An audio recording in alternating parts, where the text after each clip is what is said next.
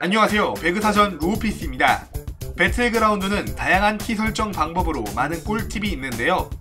그중 조준 스코프 모드를 따로 분리하여 더 빠른 액션을 취하게 하는 방법이 있습니다.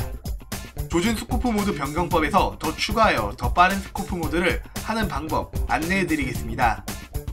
배틀그라운드 환경 설정, 키 설정에 들어갑니다 전투에서 조준 스코프 모드를 따로 분리해줘야 되는데요 저는 조준은 엄지 버튼, 스코프 모드는 마우스 우클릭으로 설정하였습니다. 이 방법으로 기존보다 빠른 액션을 취하게 되는데요. 여기서 환경 설정을 더 변경하여 줌인아웃 모두 빠르게 하는 방법 안내해드리겠습니다. 배틀그라운드 환경 설정 컨트롤에 들어갑니다. 아래로 내리다 보면 키 입력 방식이 있는데요.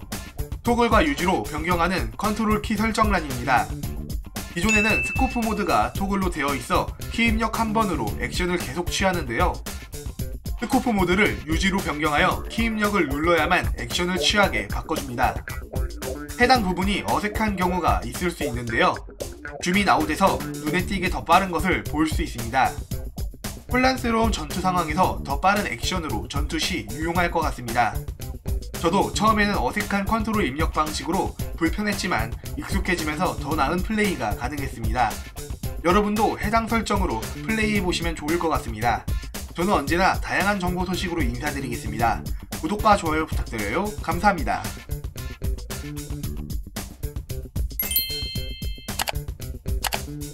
구독 좋아요 좋아요 구독 좋아요 구독 구독 좋아요 구독 좋아요 좋아요 구독